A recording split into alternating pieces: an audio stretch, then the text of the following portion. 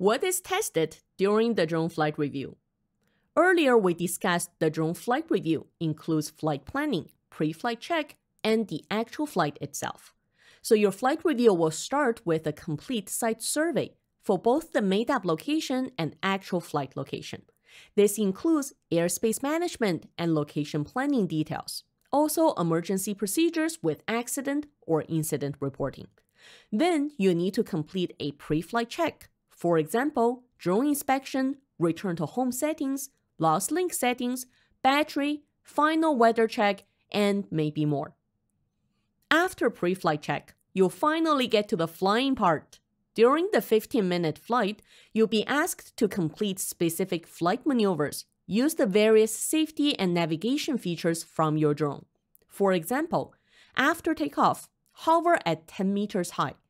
Or yaw the drone to face yourself, fly backwards to 60 meters distance.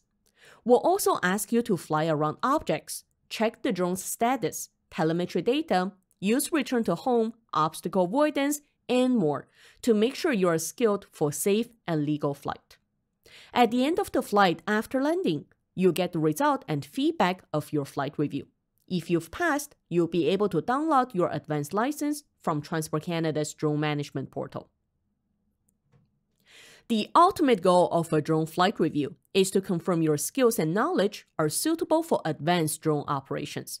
So how you are completing the flight review is as important as what. For example, how long it took to answer emergency procedures. While if it takes 10 minutes to know what to do in an emergency, then it's probably not very effective. Or how you're handling the unexpected, such as approaching birds. If you're freaking out with some drastic flight maneuvers, then even if there was no accident, you may not pass the flight review because there is something called pilot mentality. In fact, flight reviewers often assess this more than the flight itself. As drone pilots, we fly close to trees, buildings, much lower to the ground than passenger airplanes. So we have little time to react before accidents happen. The ability to stay calm and make the right decision is a large part of being a qualified drone pilot. With all that being said, as flight reviewers, we're not here to rush you on everything. You'll hear take your time a lot during the pre-flight check. For example, if you need to look up the drone's user menu or check the site's security measures, we understand it can be stressful for a new pilot taking the flight review. That's why our flight review includes one hour setup time for you to get comfortable and prepared.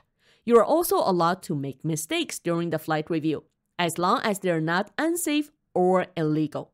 You also need to correct the mistake and able to complete the flight review. Although flight review is an exam, you'll find our flight reviewers respectful and helpful, regardless of your skills level. Don't be afraid to ask them for clarification during the flight review.